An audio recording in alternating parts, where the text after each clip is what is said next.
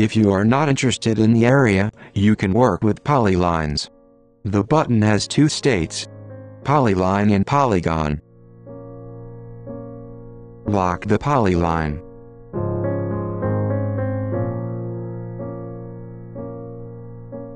When the polyline is locked, it will not be affected by that button.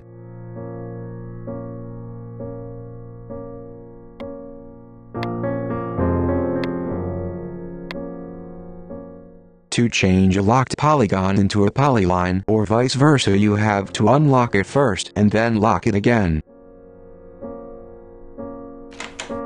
Now you can change it. Lock it again and you are finished.